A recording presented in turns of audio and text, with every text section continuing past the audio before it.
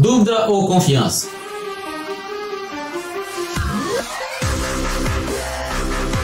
Contam que um alpinista, desesperado por conquistar uma, uma altíssima montanha, iniciou sua escalada de, depois de anos de preparação. Como queria a glória só para ele, resolveu subir sem companheiros. Durante a subida foi ficando tarde e mais tarde, e ele não havia se preparado para acampar, sendo que decidiu subir, seguir subindo. E por fim ficou escuro. A noite era densa naquele ponto da montanha e não se podia ver absolutamente nada. Visibilidade zero. A lua e as estrelas estavam encobertas pelas nuvens.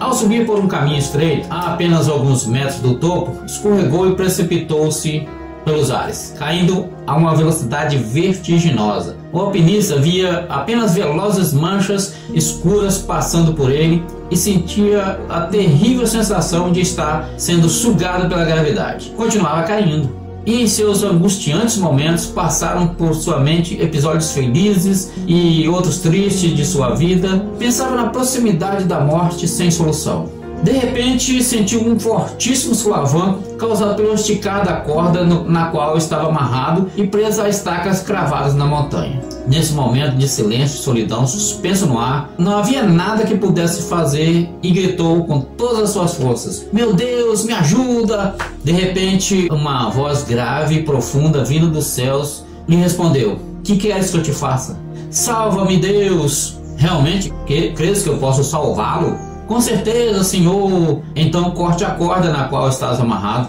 Houve um momento de silêncio, então o homem agarrou-se ainda mais fortemente à corda. Conta a equipe de resgate que no outro dia encontraram o alpinista morto, congelado pelo frio, com as mãos amarradas fortemente à corda a apenas dois metros do solo. E você? Cortaria a corda? Às vezes precisamos tomar decisões que testam a nossa fé. E você? Agarrado às cordas te sol...